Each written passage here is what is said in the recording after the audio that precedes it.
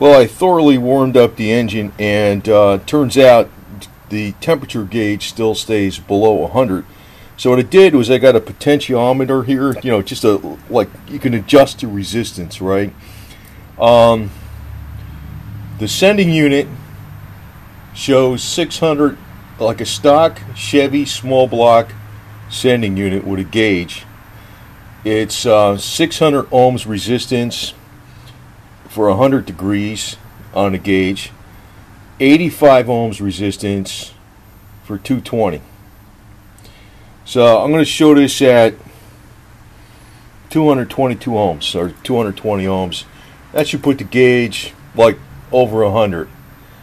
So I also want to show you where it's located. You know, it's on the side of the block there. You can see. See the wire?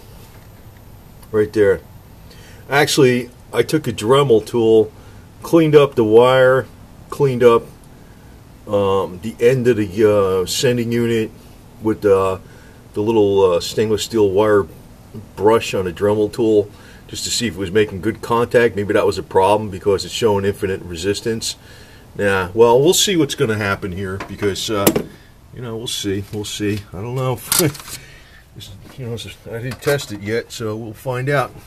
So, and by the way, when you change that gauge, it's uh, 20 foot-pounds. Put some Teflon tape. So there's your here's your connector, and it just you know it slides on a little end of the gauge, and it's plugged into the block. So we'll connect the battery up and uh, see what I'm going to do. Okay, so I connected from one side of the ground through the resistance. Uh, so that'll work like the sending unit, right? Potentiometer. Put it like 220 ohms to the other wire on the sending unit. And we're going to see what's going to happen here. Well, I got another problem here because, you know, maybe the sending unit is bad too, but um, no matter what, if I set it on infinite resistance or, well, infinite resistance, it should read zero on a gauge.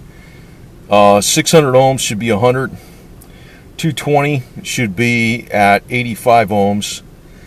And matter what I put it on, even if I put it where it's open, it just the gauge doesn't read nothing. So there's something freaking wrong with the I don't know the wire or some bullshit someplace. I don't know where, but uh, it's me one of those things. But I will figure it out because I don't want to put an aftermarket gauge in it when you got nice you got gauges you can use like this. So anyway, that's how you check it though. Um,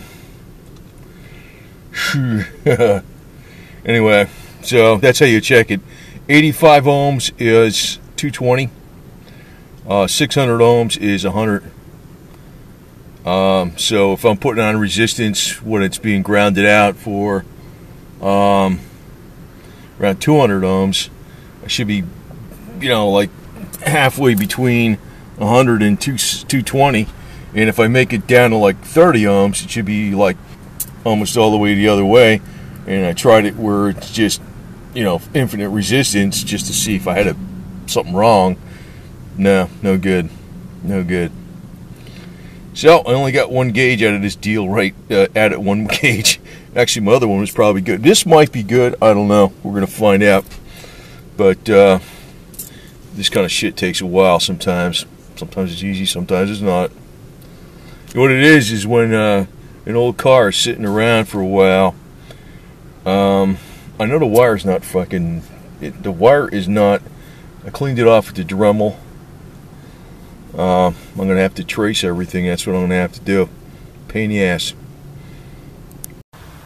Okay, so I have the gauge disconnected from the um,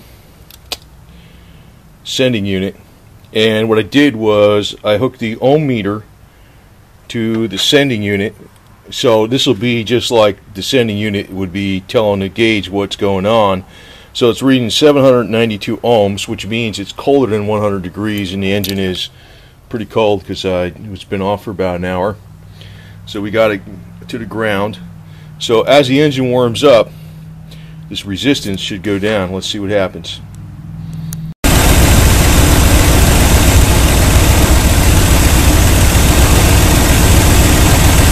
That's the sending unit. See its uh, resistance is changing.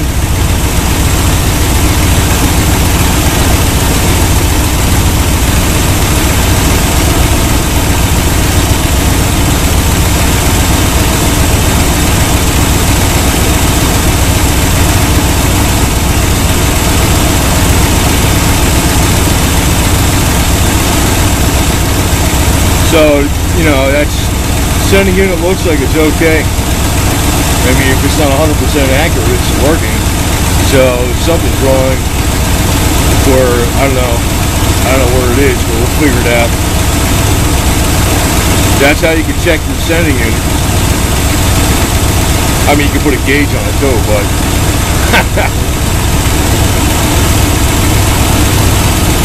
Let's see. I'll see where it settles out. So it looks like it's settled right down, I don't know, 298, 299, something like that.